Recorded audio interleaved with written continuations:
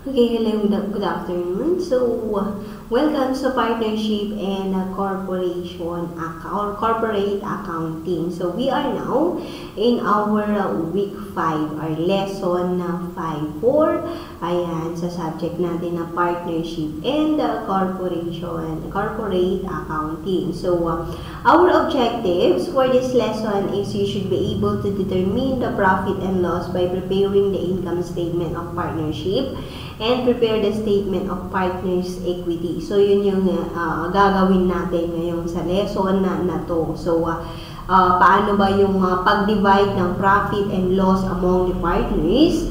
And uh, paano ba yung paggawa ng income statement of the partnership? And paano ba yung pag-prepare natin ng statement of partners equity? So, uh, yun yung mga, yan yung mga objectives natin for this lesson 5. Okay? Now, um, I have here the video of uh, Ma'am Carmela again uh, for our lesson 5 and uh, she, she will uh, discuss uh, that uh, uh, our lesson. Pero kapag may question kayo, tanungin nyo sa akin. Okay? So, um, I will play uh, the video. Ayan, so pag-usapan natin, ano ba yung income statement? Ayan, sabi dyan, income statement, the result of the operation of partnership is presented in a financial report called the income statement. So, just like in our sole proprietorship, the account titles for revenues and expenses depend on whether the business is a service provider, a merchandiser, or a manufacturer. So, uh, methods of presenting finance uh, income statement, nakadepende siya kung ano yung type, yung type ng business mo. Kung service provider ka, ano yung gagamitin mong uh, methods ng uh, presentation of income statement mo. Kung merchandiser naman yung, uh, or merchandise naman yung uh, business mo, paano mo yun ipipresent yung income statement yan? Of course, if manufacturing yung uh, business mo. Ayan, so, um, let's take a look at this uh, sample illustration in your module. Ayan. Uh, so, meron tayong dalawang methods ng, uh, methods ng, ayan, methods of presenting income statement, ano, the function of expense method, ayan, when cost and expenses are shown according to their functions, ayan na, yung, uh, yung income statement is na-divide siya, or yung mga, uh, yung accounts, dun sa uh, income statement or yung mga expenses sa income statement is na-divide siya or na uh, na-distribute siya based on the function of uh, expenses or kung saan ba sila uh, nagagamit. Ayan, kung ano yung type nung uh, type nung uh, or function ng uh, expenses na yon saan siya saan siya magagamit uh, pinag ano yan pinag uh, divide divide ayan into sabi nga diyan cost of sales distribution and administrative nature of expenses naman is uh, kapag yung uh, wala, hindi siya na-divide sa uh, cost of sales, distribution, and administrative yung expenses. Ipe-present mo lang siya as is na uh, kung anong klaseng expense siya. Like for example, pag rent expense, uh, ipilagay mo lang siya sa operating expense. So, hindi mo na kailangan i-divide or i-distribute sa uh, general or the uh, administrative expenses or the cost of sales. Ayan. Nature of expense, usually yan ginagamit pag um, service or uh, servicing yung uh, nature ng business mo. Ayan, function of expense kapag yung uh, manufacturing or the merchandising. Ayan. So, ito yung example natin. Ayan. To illustrate, assume that Buenas Grocery owned and managed by Buen and Aster, a general partner. Show the adjusted following trial balance at the end of the year. So, kung, kung nakikita nyo dito, may, may nakaread dito na account which is yung accounts receivable for 15,500. So, mali yata kasi yung naibigay sa inyo. Dapat to is 15,500. Yung nasa inyo na yata is uh, uh, 15,000 lang. And of course, ito, yung office salaries expense, 6,500 yan sa inyo. Pero dapat 6,000 dapat siya. Ayan. So, so ito yung trial, unadjusted trial balance ng Buenas Grocery. Ayan, at the end of the year or December 31. So, ito yung, wala pa dito yung mga adjust or ito yung trial balance nila. Ayan, so, yung, kung makikita nyo, itong uh, hilera na to from sales to down to utilities expense, ito yung mga isasama natin sa um, isasama natin sa income statement natin. So, ang makikita lang dapat natin na uh, accounts na nasa income statements natin is yung income and expense account. So, bakit hindi kasama yung uh, yung cash, yung accounts receivable, allowance for bad debts, merchandise inventory, down dito sa accumulated depreciation. Bakit di yan kasama? Kasi uh, ito, etong from cash to accumulate depreciation na to, nilalagay natin yan sa asset section ng uh, statement of financial position. So, iba yun, ano, iba yung statement of financial position sa income statement. Pag statement of financial position, ang makikita lang natin doon na accounts is yung asset, liabilities, and owner's equity. Wala tayong makikitang expenses doon. Ayan, so, uh, except na lang doon sa mga prepaid expenses, lang prepaid rent, ganun. So, Uh, yun lang yung makikita natin sa statement of financial position, asset, liabilities, and owners, equity. So, etong cash to accumulated depreciation is uh, ilalagay natin yan sa asset section ng uh, statement of financial position. So, kung makikita nyo, di ba, ang normal balance ng asset or uh, ang pag sinabi nating normal balance, kung saan siya may positive balance or mag-i-increase or yeah, mag-i-increase or positive balance. Ayan, kung ang asset is, ang normal balance niya is uh, debit. Pero itong allowance for bad debt, sabi natin, makikita natin yan sa uh, asset section ng financial position. Kasi yung allowance for bad debts, uh, contra asset account siya, kaya siya naka-credit. Allowance for bad debts, ito, ito yung mga uh, portion netong accounts receivable na pinoprovide natin for uh, sa mga uncollectible natin. Yung mga ito yung mga ano natin, yung allowance na gina, uh, nilalagay natin, kumbaga ina-assume natin na ito yung amount na hindi natin uh, mare-receive or mare-recover from customer, yung utang ng customer sa atin, ito yung amount uh, ng uh, hindi natin makokolekt sa kanila. Okay? Ayan. So, ilales natin dito sa accounts receivable kasi 'di ba ang accounts receivable is ito yung utang sa atin ng customer, yung collectible natin from customers. 'Di ba? So, uh, 15,500 yung collectible natin. Tapos magpo-provide tayo ng allowance na 1,500 for uncollectible accounts. Ayan. Kaya ilalas siya dito pag present natin yan sa asset section ng financial position natin. Uh, ganun dito sa accumulated depreciation. Accumulated depreciation is ito yung mga pinoprovide nating depreciation expense ng um, ng mga ano natin, yung mga uh, yung equipment, yung furnitures, ganun yung mga asset natin, yung mga long-term assets natin, yung PPE or the uh, uh, property, plant, and equipments natin. Kagaya na itong furniture and equipment, meron siyang accumulated depreciation na 6,300. So, ang mangyayari din dyan, furniture and furniture and equipment 37,000 less accumulated depreciation na 6,300 kapag present natin yan sa uh, financial position natin. Ayan. So, uh, ano pa yung hindi kasama sa uh, income statement? Ito. Hanggang kay, uh, from accounts payable to after drawing. Ayan.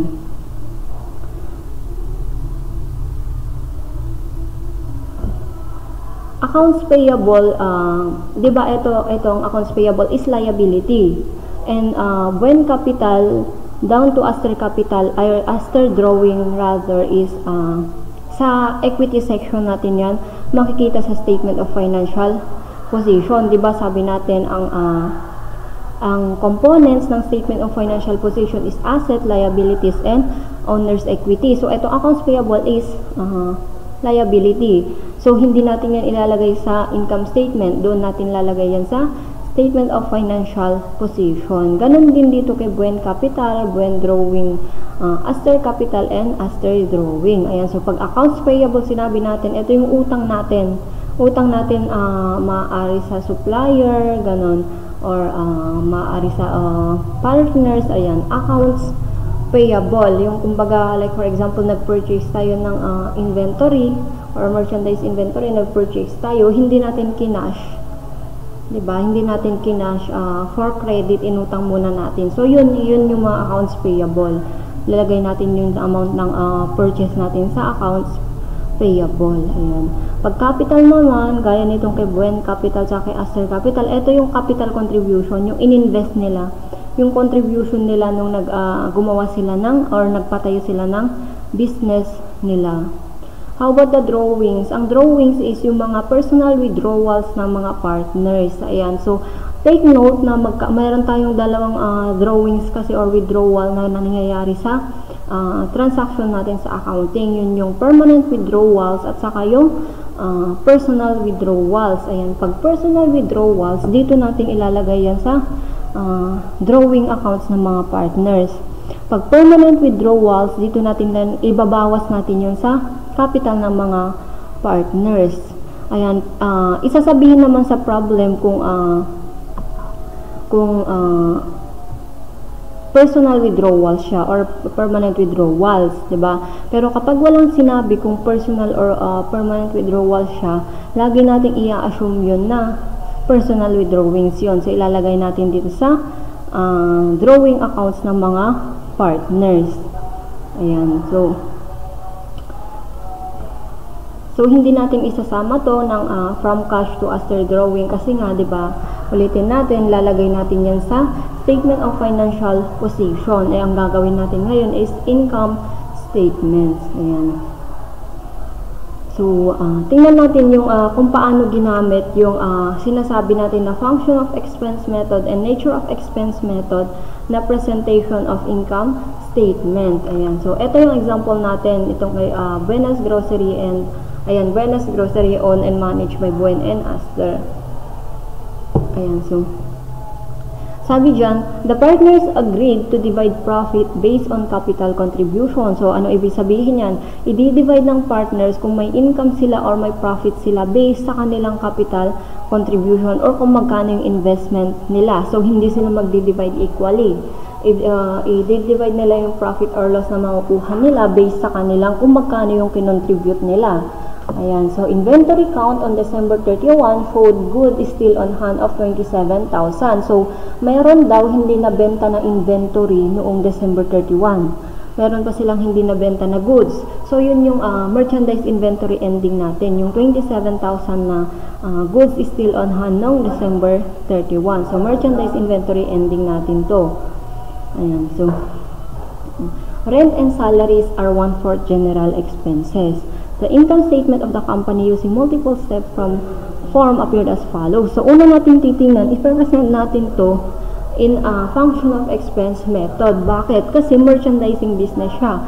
Sabi natin, gagamitin natin yung uh, nature of expenses method kapag uh, service uh, servicing company yung gagawan natin ng uh, income statement. Ayan. So, gawin natin yung uh, income statement ni Buenas Grocery. Ayan. So, kung makikita nyo, ayan, yung uh, meron yan portion ng uh, net sales, cost of sales, net sales, ayan, cost of sales na merchandise and the uh, operating expenses. So, yung operating expenses na divide siya sa selling or yung distribution expenses natin na tinatawag and the general expenses.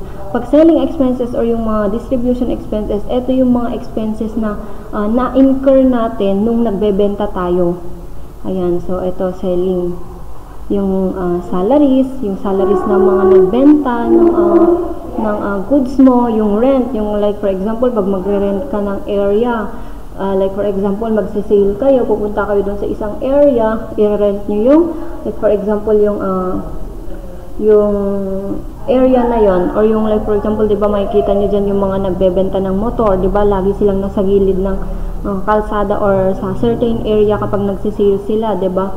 So, uh, inirerentahan din nila yung area na yun. So, yun yung mga rent uh, expenses na nilalagay natin sa selling or distribution expenses.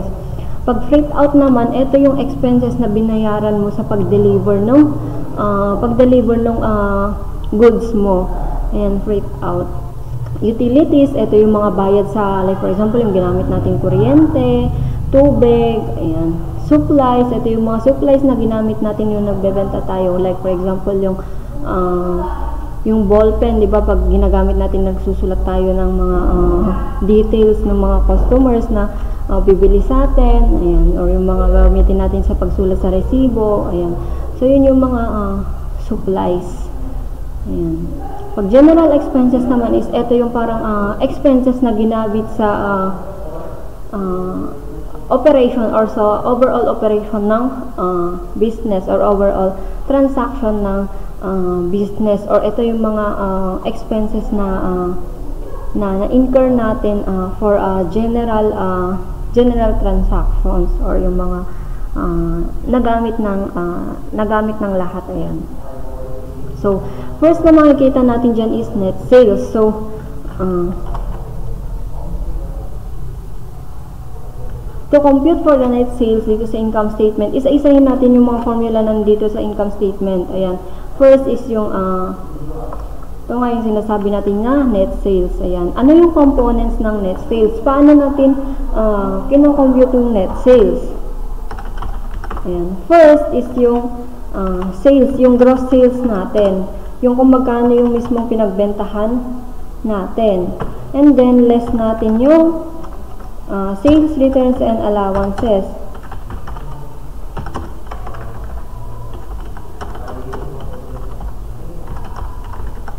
And then, uh, kung meron siyang sales discount, ilaless din natin yung sales discounts. Kung meron tayong pre-provide na sales discounts. And, ayan. So, yun yung uh, computation ng sales natin. Sale, uh, net sales natin. Ayan, so sales, meron tayong napagbentahan ng 192,000. So, ito yun, 192,000 yung napagbentahan natin. Dito natin yung makikita. Ayan.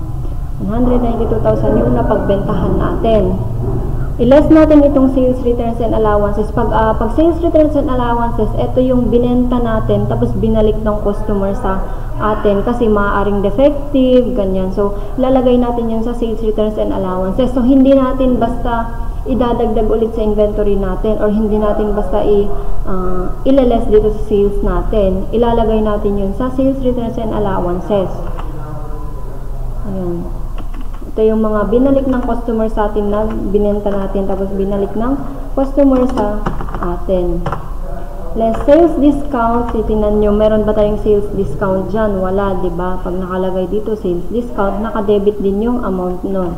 So, wala. Kaya lalagay natin dyan, 0. Ayan. So, 192,000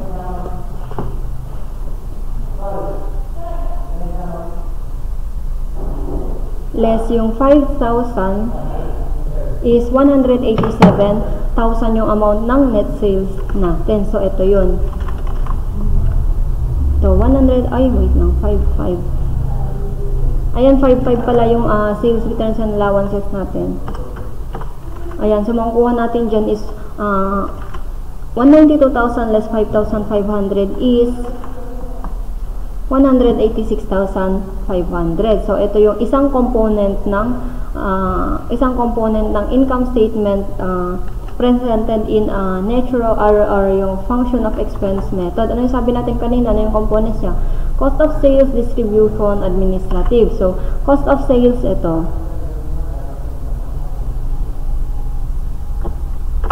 Ayan. Cost of sales, ito yan. Merchandise inventory beginning. Kung ano yung beginning uh, balance mo ng merchandise inventory or yung ending mo last year, yun yung magiging uh, beginning inventory mo ngayon, ngayong year. So, magkano yung beginning inventory niya?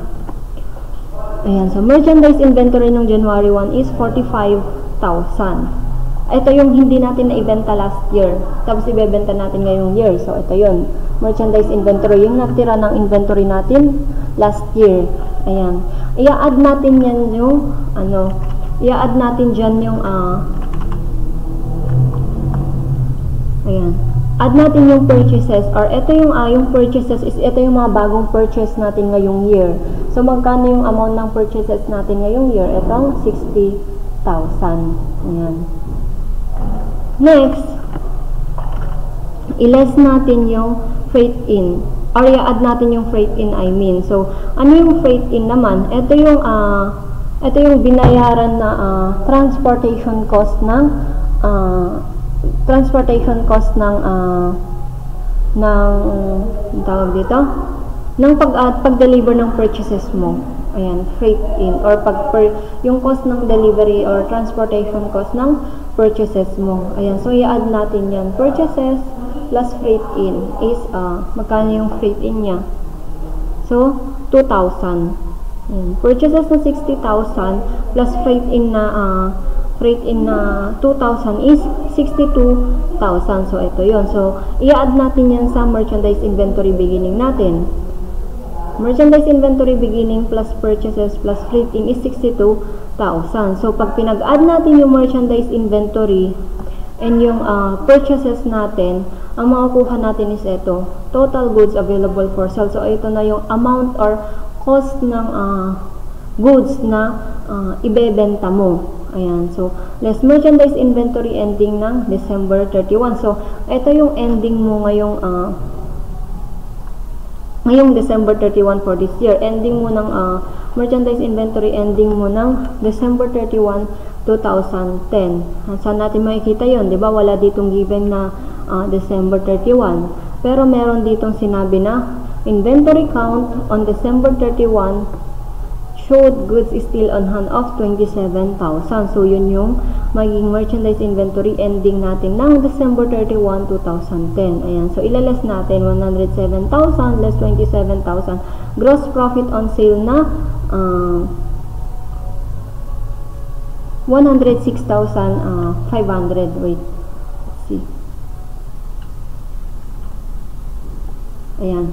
Uh, 107,000 plus uh, 27,000 is 80,000. Ayan. So, pag pinag-less natin, net sales less yung uh, cost of sales is uh, 106,500. So, ang makukuha natin pag pinag-less natin yung total goods available for sale, less mo yung merchandise inventory ending, makukuha natin yung cost of sales. Ito yon. Tapos pag niles natin yung net sales, less cost of sales is 106,500. Yun yung gross profit on sales natin. Ano yung pagkakaiba ng net sales sa cost of sales? Pag net sales, ito na yung amount ng pinagbentahan natin. Kasama na dyan yung profit or income or kita natin. Ano naman tong cost of sales? Ito yung cost ng oh, goods na binenta natin or uh, most exactly, ito yung uh, cost ng goods na uh, nung pinili natin and yung deliver sa atin. Di ba? So, ito yung cost niya. So, 80,000 yung uh, naging cost niya. Ang napagbentahan natin is 186,000. So, magkano yung uh, gross profit on sales natin or magkano yung kita natin? 106,000. So, gross profit on sale, bakit siya tinawag na gross profit on sale? Kasi uh, hindi pa natin nalales dito yung mga expenses na ina-incur natin sa pagbebenta natin ng uh, ng uh, merchandise inventory natin. So gross profit on sales pag wala pang nalales na expenses. Ayan. Ilas natin yung mga operating expenses. Ano tong mga operating expenses? Ito yung mga expenses na nagamit natin sa pag-ooperate natin or sa through the operation of the business. So, pag sabi natin, pag uh, function of expense method yung gagamitin natin, uh, i-divide natin yung uh, yung expenses through the uh, uh, i-divide natin sila ng uh, cost of sales, distribution, uh, distribution, and administrative expenses. So, ano yung kanina, cost of sales. So, tapos na nating ma, uh, ma compute yung cost of sales, di ba? So, uh, next is the selling, or ito yung tinatawag din nating distribution expenses. Salaries, ayan, so, Uh, sabi dyan, ang salaries ng uh, distribution expenses 22 ay 20,000. Rent is 15,750, freight out is 13,500, utilities is 12,750, and supplies is 3,000. So, all in all, 65,000. So, saan natin nakukuha itong mga amount na ito na nilalagay natin? Dito sa uh, trial balance. Tingnan nyo, 60,000. Yan. Yan.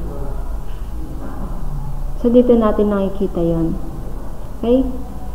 Yan. And of course, yung uh, usually kasi ang uh, ang salaries and rent expense is usually sa uh, nandito lang siya sa may uh, distribution expense dapat. Pero since sabi dyan, eh, sabi dyan, di ba kanina is uh, rent and salaries are one for general expenses. So, i-multiply natin yan. 20,000 times 1 divided by 4 is 6,000 uh, Five, ay wait lang, meron pa pala ditong uh, salaries. Meron pang isang salaries. Ito.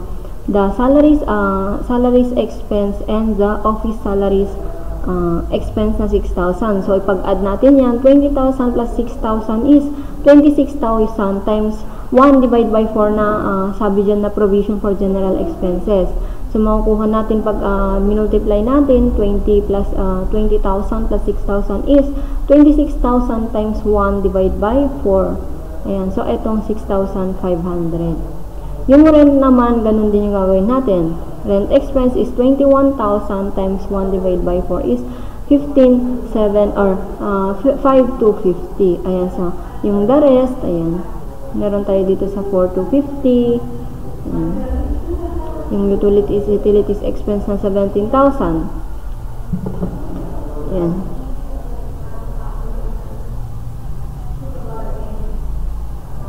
Ayan. 17,000 times 1 divided by 4 is 4,250. So, ganun din dito sa mga ano sa uh, supplies, ayan. Yung bad debt sa general expense siya, sa miscellaneous, sa general expense. Uh, depreciation is a general expenses, ayan. So, all in all, ang maging total ng uh, general expenses is 22,300. So, ang total na operating expenses is ipag-add natin yung uh, selling uh, expenses or uh, distribution expenses which is 65,000.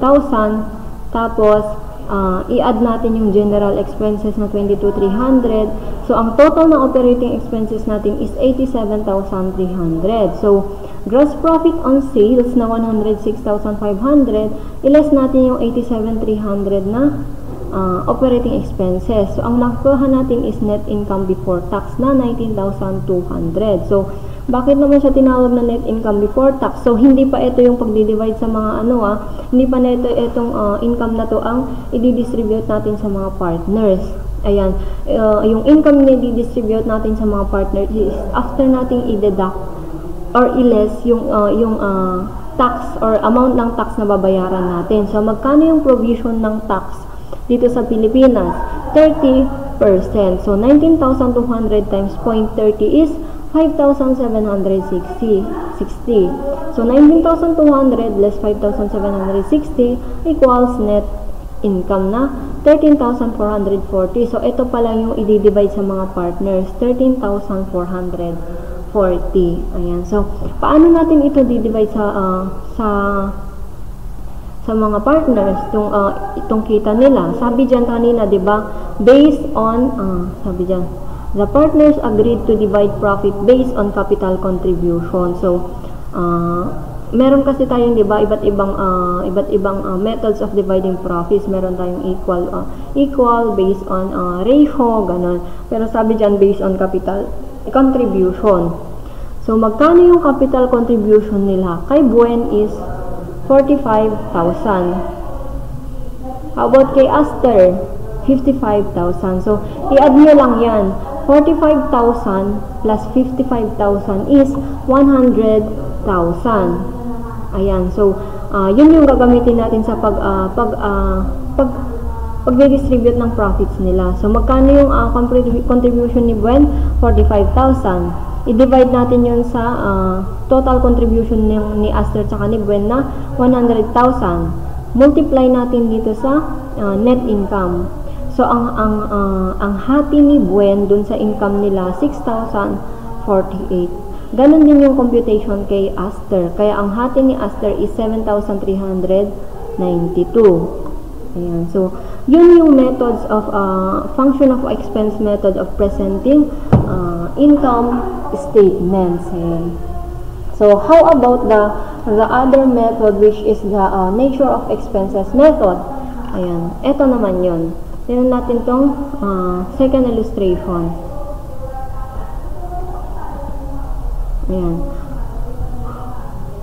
To illustrate, assume Maribel and Carla, both CPAs, uh, whose profit and loss agreement is 2 is to 1. So, based on ratio naman tong uh, division of profit ni uh, uh, Maribel and Carla. So, uh, respectively presented the following income statement at the end of each year of operation. So, ito naman yung uh, ito yung income statement. Ito naman yung uh, presentation of income statement based on uh, nature of expenses method. Ayan. So, sabi natin kanina, ito yung ginagamit ng mga uh, servicing uh, companies.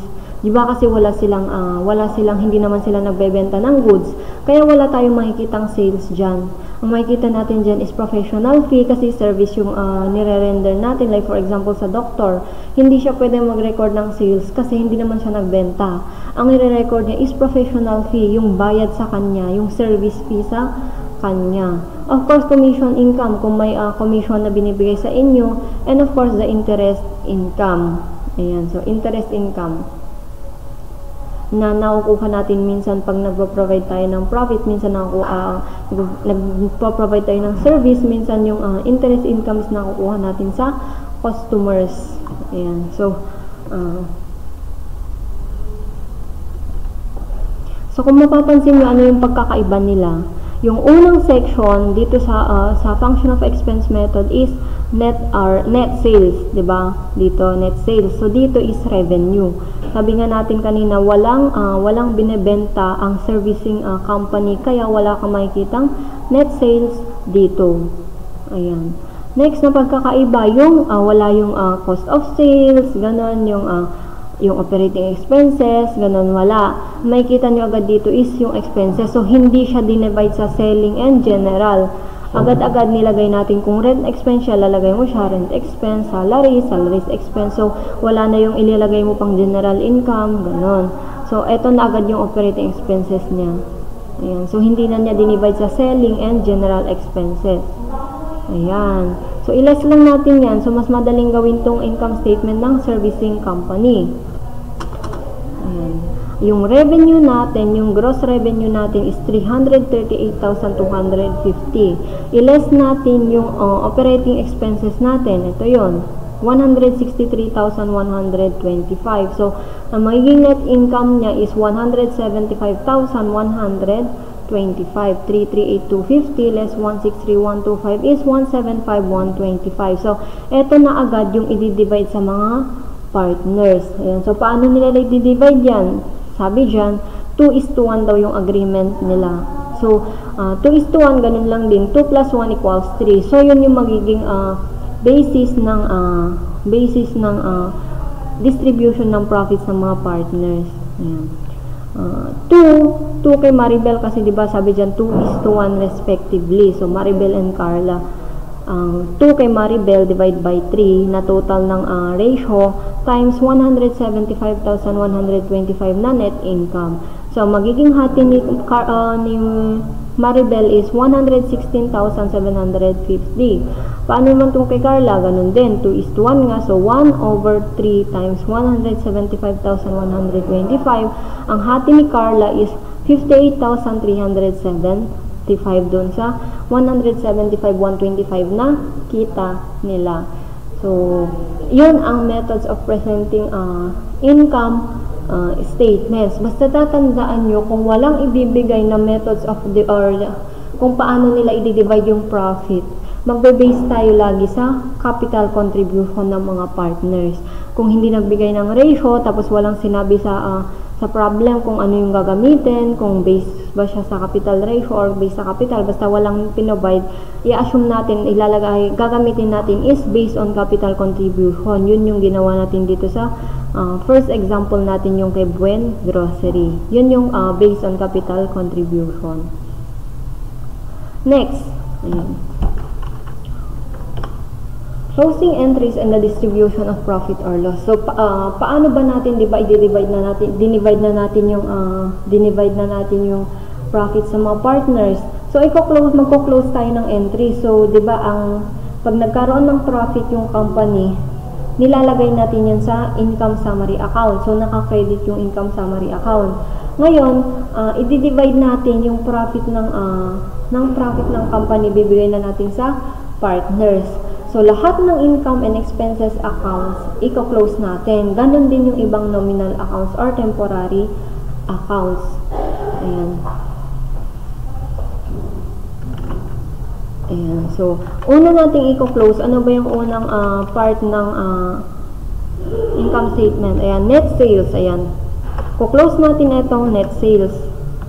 Ang dalawang component ng net sales is yung uh, sales and sales returns and allowances. So, i-close natin tong net sales. Ayan. Paano natin i-close yan? Di ba pag sales, sabi natin, di ba meron dito sales is 192,000 naka-credit siya. So pag naka-credit yung sales, amount ng sales, ibig sabihin positive yan. Pag naka-debit yung amount ng sales, ibig sabihin negative yan. Okay? So 192,000 na sales. Tapos, uh, naka-credit yan, pag close natin, ide-debit natin yan. Sales returns and allowances na 5,500. Bakit siya naka-debit? Kasi ilaless natin yan dito sa sales. So, contra sales account tong sales returns and allowances. Ayan. So, i-close natin yung uh, mga accounts na nasa net sales. So, paano natin gagawin yan? Ayan. Ililipat natin sa income summary yung uh, net sales. So, ang income sa Ramarima ay ilalagay natin na 186,500. Ayan. Paano natin nakuha yan? Yung sales, i-debit natin since i-close na natin. Dati yan naka-credit. Pag linos natin yan, lalagay natin yan sa debit. So, 100, i-debit natin yung sales for the amount of 192,000. And of course, yung sales returns and allowances. Pa, ang normal entry natin dyan, pag nag-entry tayo, pag binalik sa atin yung customer yung product, naka-debit yan. The moment na nagbalik sa atin ng product si customer, i-debit natin yung salaries or sales returns and allowances. Pero since i-close na natin, i-credit natin. So, ang difference nila, 192,000 and less 5,500, 186,500. So, dito natin yun ilalagay yung, uh, ilalagay natin yan sa income summary. Ayan. So, pag, pag nakita nyo, pag niless yung sales, 192,000 less sales returns and allowances, 5,500, uh, mas malaki yung nasa debit. 'Di ba pagka nag-e-entry tayo, dapat balance 'yan. Kung ano yung amount na naka-debit, yun din yung amount dapat ng naka-credit. So paano natin 'yan gagawin? Yung income summary, i-credit mo siya para mag-balance yung uh, yung uh, yung debit amount ng debit saka credit. So uh, so 5,500 plus 186,500 is 192,000. So ang, kung paano natin nakukuha yung income summary ng net sales? 192,000 less 5,500. Ayan. And then, lalagay nyo sa baba to close the net sales. Ayan. Next, na i-close natin, ano yung susunod? Cost of sales. Ito yun. Diba? Ito yung components nun, diba? Ayan. Ang cost of sales natin, uh, merchandise inventory December 31, it kikreate the debit natin for 27,000. And in uh, merchandise inventory ng January 1 is 45,000. Tingnan niyo yung merchandise inventory dito. So, merchandise inventory ng January 1 is naka-debit siya. So, pag close natin yan, i-credit natin siya. So, ito siya. Ayan. So, opposite yung merchandise inventory ng December 31 at merchandise inventory ng January 1. So, hindi sila pwedeng mag, uh, magtagpo sa iisang uh, like for example, pag credit yung isa, dapat debit yung isa. Uh, ayan. So, merchandise inventory January 1, ka-credit natin. Purchases naman, naka-debit yung purchases natin dito, di ba? Purchases, ayan, 60,000. And yung freight in, naka-debit din. So, pag close natin yan, i-credit natin. So, i-credit natin. Ayan. So, saan natin nakuha yung merchandise inventory December 31? Ito yung given dito sa ano sa uh, sa additional uh, additional information. Ito inventory count on December 31 showed good still on hand for 27,000 so ide-debit natin yan. Ayan so 45,000 plus 60,000 plus 2,000 so magkano yon 60 plus uh, 45 is 105 plus uh, 2 is 107,000 so ang amount lang ng merchandise inventory sa December 31 is 27,000 So, 107,000 less 27,000 is 80,000. Ayan. So, yun yung ilalagay natin sa income summary. So, bakit naka-debit dito yung income summary?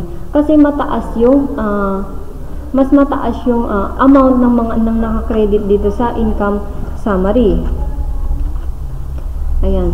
So, para mag-balance, ilagay natin yung income summary sa uh, debit. Para magkaparehas yung amount ng debit saka credit natin. Tapos, lagay nyo dyan to close the net sales. Next, ano yung susunod nating i-close? Ito, operating or yung mga selling expenses muna or distribution expenses. Ayan, so, ah, ang dapat na magiging, basta titingnan nyo ang daan ng mga nagiging amount ng income summary natin is ito. Ito, ito, ito, ito. Yan. Ito. Ayan. Ito at saka to. Ayan. Yun yung mga nagiging amount ng income summary natin. So, selling expenses, saan ba yung, ah, ito yung mga expenses. Tingnan yung mga naka-expenses nandito sila sa debit. So, pag linose natin yan, i-credit natin yan. Ayan. So, ang total ng selling expenses natin or distribution expenses natin is 65,000. So, i-debit natin yung income summary para mag-balance sila dito sa credit. Ayan. Next is yung ah, admin expenses. Ganon din dito sa may ah, selling expenses to. Tingnan nyo dito sa income statement. Ano yung next sa selling expenses? Etong general. So, ito i-close din natin to. Dapat na maging amount na income summary mo is 22,300. Ayan. So, kung pansinin nyo, dapat ang income summary para masabi natin na, ah, na may profit yung isang business, ah, dapat mataas yung ah, credit balance ng income summary kaysa sa debit balance. Ayan. So, ngayon, titingnan natin kung, i-check natin kung tama ba yung sagot natin or tama ba yung mga amount na dito, nandito sa entry natin. So, income summary na 186,500 kasi naka-credit yan. So, ilales natin lahat ng naka-debit. Ipag-a-add mo lahat ng naka-credit, ilales mo lahat ng naka-credit na income summary. Income summary lang. Ayan. So, wala nang ibang naka-credit na income summary, di ba? So, wala na tayong i-add dito sa naka-credit na 186,500. So, meron dyan tatlong naka-debit na income summary. So, ilales natin lahat yan. 186,500 less 80,000 less 65,000 less 22,300. Dapat ang makuha natin dyan is 13 or 19,200. Ayan. I-check nyo kung tama yung uh, amount dito sa entry. Pag nagtugma yung uh, nakuha nyo, pag pinag-less nyo yung, naka, pag pinag-less nyo yung uh, credit ng income summary, less yung mga naka-debit, dapat ang makuha nyo amount is yung net income before tax dito sa income tax or income statement. So, yun, yun yung paano natin i-close. So, syempre meron din tayong uh, income tax, uh, provision for income tax, diba? Ito yung income tax payable natin. Itong uh, 5760, diba? So, i-close din natin yan. So, paano gagawin dyan? Debit yung income summary, credit yung income tax payable. So, income tax payable is uh,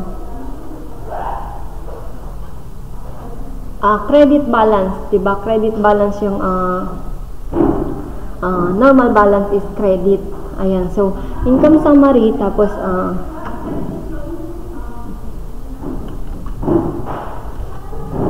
ayan. Income summary, babawasan natin yung income summary natin, iladagdag yung binawas natin sa income summary natin, uh, ika-credit natin sa income tax payable natin. So, ito yung payable natin sa uh, income uh, or sa uh, sa government ito income tax payable next na i-close ano ba yung nominal accounts na i-close yung drawing accounts ano ba yun ito yung drawing na 2,500 and yung uh, 2,500 ni Buen and yung kay Aster na 5,000 ah Ayan, 5,000. Iko-close din natin yan. So, paano natin ko-close yan? Di ba yung drawing dyan is naka-credit. Ayan, naka-credit. So, ipag-close natin yan.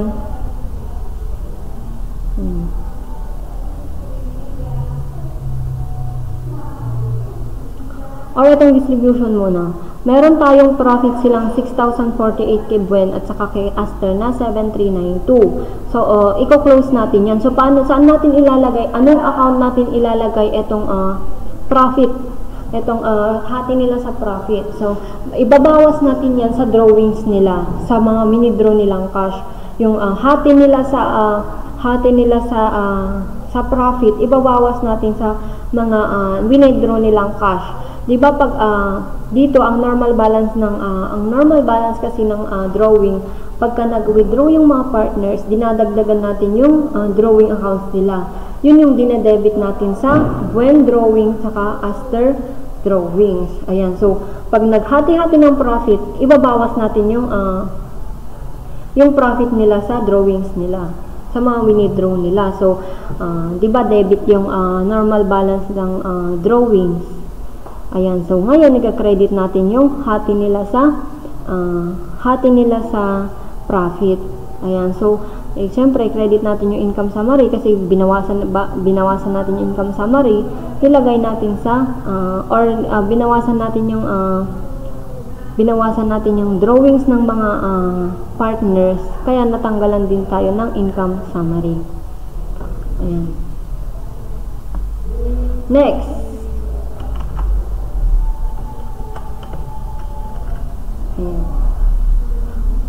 Posting the ah, income summary account and the drawing accounts sa general ledger. So, ano yung general ledger? So, dito natin makikita yung summary ng mga ah, summary ng mga journal entries natin. Like, for example, sa ano, sa pag di pag nag-journalize tayo, sa summarize natin lahat ng cash, lahat ng nakadebit ng cash, lahat ng nakakredit ng cash, ilalagay lang natin sa isang account. Ayan, so saka natin ilalas yun. Ayan, so income summary nung ah, first uh, first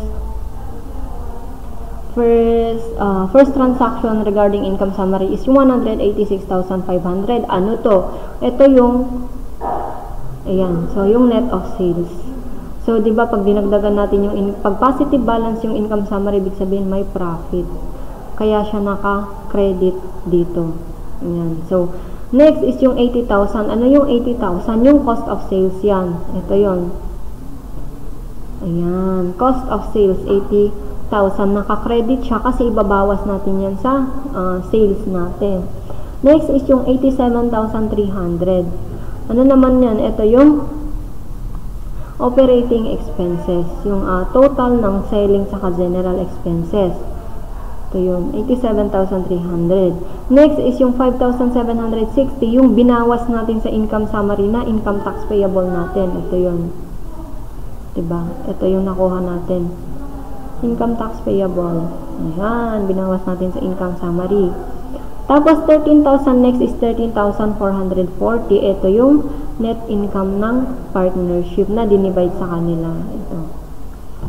Ayan. So, yun yung naka-credit sa uh, income summary natin kasi may kita. Pag loss yan, naka-debit yung uh, pag loss, like for example, loss tong 13,440, naka-debit yan sa income summary. Dito sa kabila yan. Kung loss yan. Next is yung when drawing. So, ano itong 2,500 nakadebit sa kanila? Nung nag-withdraw sila ng cash, dinebitan sila ng um, 2,500 kay Buen, saka 5,000 kay Aster. Ayan, tingnan nyo. Ito, saka ito. Ayan, yun yung nandito sa beginning balance, sa trial balance. Ito yun, 2,500 and 5,000. So, ano yung naka-credit? Ah, 6,048 saka 7,392. Ito yung hati nila sa ah, hati nila sa profit ng ah, partnership. So ito 'yon, 'di ba? Ito 'yon.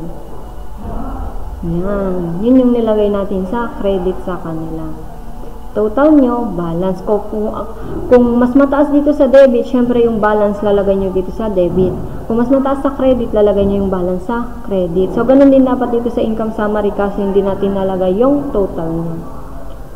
Next is the statement of changes in partners equity. Changes in partners equity, ito yung ano, yung mga uh, transactions na nakakaapekto sa equity section ng mga or sa capital accounts ng mga partners. Ayan, so tingnan natin. Ito yung format ng changes in partners equity, ah, statement of changes in partners equity for the year ended December 31, 2020. So, balances nila noong January 1 kay Buen is 45,000, Aster is 55,000. So, saan natin kinuha yan? Ito yun, yung nasa trial balance. Ito, 45,000 and 55,000. Yan. Next is uh, share in net income. So, magkano yung share nila sa net income? Di ba, meron siyang, silang share in net income na uh, 6,048 kay uh, 6,048 kay uh, Buen, 7,392 kay uh, Aster. So, i-add natin yan. Add yung profit. Pero pag loss yan, ilales natin yan. So, 45,000 plus 6,048 is 51,000 48. Ganon din dito, 55,000 plus 7,392 is 62,392. So, itong, uh, itong total sa gilid is 45 plus 55 is 100. 648 times uh, plus 7392 is 13440. So, ganun lang din. Uh, less natin yung regular drawings nila or yung mga personal drawings nila. Saan natin nakuha yan? Yung nandito. Ayan, 2,500 and 5,000. Ayun, yun yung ilaless natin yan. Ayan. So, makukuha natin balances nila ng uh, December 31, 2010, 48,548, 57,392 kay Aster. So, pag meron silang hala, for example, si uh, si Buen, sample natin kay Buen, pag nag-additional investment siya, lalagay lang natin dito, or uh, pag additional investment, yung nag-invest ulit siya after nung initial investment nila. Pag meron silang additional investment, i-add lang natin siya. Like for example, nag-additional investment siya ng uh, additional investment siya ng um, like for example, 10,000. So, ang, ang mangyayari dyan, magiging balance ni uh, magiging balance ni Buen is ito 45,000 plus uh, 10,000 is 55 6,000. Ilas natin yung 6,000 for wait lang. 6,048 is 4 48952. Ayan, so um, 48952 less 2,500 is 46452. Ayan, so ganyan yung magiging format niya kung merong additional investment si Gwen. Ayan, or kung merong additional investment yung mga partners. Para naman pag ito yung loss, ilaless lang natin siya. Kung like for example loss siya, ilaless lang natin siya. So, 45,000 plus 10,000 less 6,048. Ayan. Kung loss yung nakuha natin. Ayan. Okay, so yun yung uh, yun yung methods of presenting uh, income statement and of course how we close the nominal accounts and the preparation of changes in uh, partners equity. And bakit tinawag na changes in partners equity? Kasi dito natin uh, nakikita yung uh, yung changes na nangyari dun sa capital accounts ng mga partners, yung mga nadagdag na investment, yung naipasok sa kanila na uh, profit or na, yung naibawas sa kanila na loss, ganun, yung mga withdrawals nila, ayan. So, dito natin yan makikita sa Statement of Changes in Partners Equity. Ayan, so let us discuss yung uh, requirements. Ayan, so, activity 1. The following is the adjusted trial balance of Hypermart as of December 31, 2019. So, meron siyang, uh, ito, Asan dyan yung uh, mga uh, asset accounts? Ito.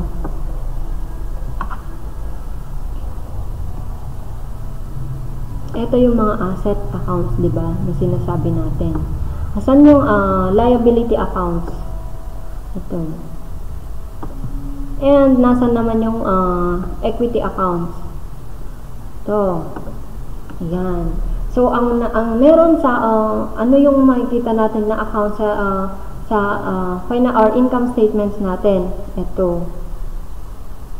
Itong sales to other operating expenses. Ayan, yung makikita nating account sa income statement natin. So yung uh, yung mga nasa taas, yun yung statement of financial position. Ayan. So, requirements letter A, close the nominal accounts, the inventory account at the end of the year showed unsold goods of uh, 125,800. So, ibig sabihin, ito yung uh, merchandise inventory natin na ending or merchandise inventory December 31.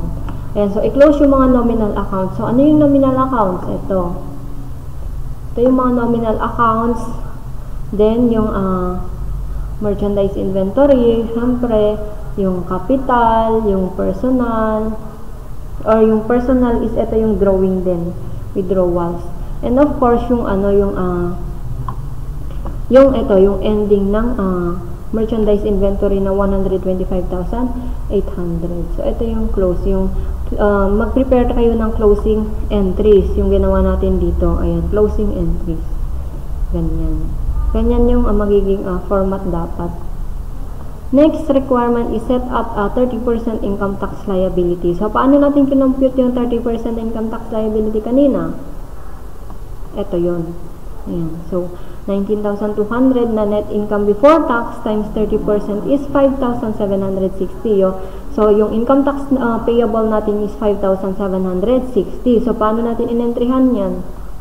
Dapat mag-provide din kayo ng entry. Ito, income summary, income tax payable.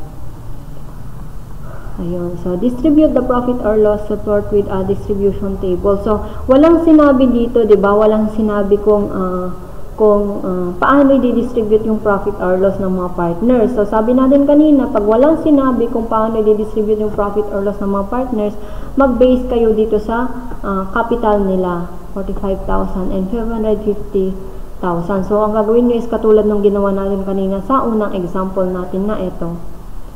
Ito kung paano nyo i-compute yung uh, profit or loss based on contribute, uh, contributed capital. So, uh, maggawa din kayo ng ganito ay ng uh, profit distribution table.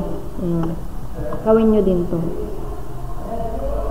Next is the uh, prepare a statement of changes in partners equity for the year 2019. So, ito yun. Changes in partners equity. Ayan. Next, compute for the return. Itong letter E, kahit wag nyo na munang gawin kasi ma madidiscuss natin yan sa mga susunod na ano natin, mga susunod na lessons natin. So, wag nyo na munang gawin tong letter E. Okay, so hanggang D na lang muna yung gawin. Okay, napanood na natin yung uh, video lecture ni Ma'am Carmela and uh, na-discuss din niya yung uh, yung uh, requirements ninyo for uh, lesson uh, 5, okay? So, uh, originally, may letter E dito, pero wag, wag na, muna daw, wag, wag na natin uh, sugot, sagutan kasi uh, um, uh, we will discuss that in our, in, in, in our, as we go along with our uh, discussion, okay? So, if you have any queries, magtanong kayo sa akin na o baka hanapin niyo si Ma'am Carmela para pagtanungan. Ayan, magtanong, magtan magtanong kayo sa akin kasi subject ko naman to. So, ginagamit lang natin yung video ni Ma'am Carmela to maximize the use of it, okay? Uh, pero ako yung, uh, ako yung uh, teacher dito sa partnership and uh, corporation, okay? So if you have any queries or uh, uh, questions regarding sa regarding sa requirements or uh, sa uh, uh, lesson, ayan, uh, mag-message lang kayo sa akin sa messenger or kung, kung uh, pumunta naman kayo dito sa school, ayan, uh, let's try to explain it to you, okay? Uh, in a, um, ma, yung sa maiintindihan natin or yung sa maiintindihan ninyo, okay? So, uh, that ends our lecture and have a good uh, day.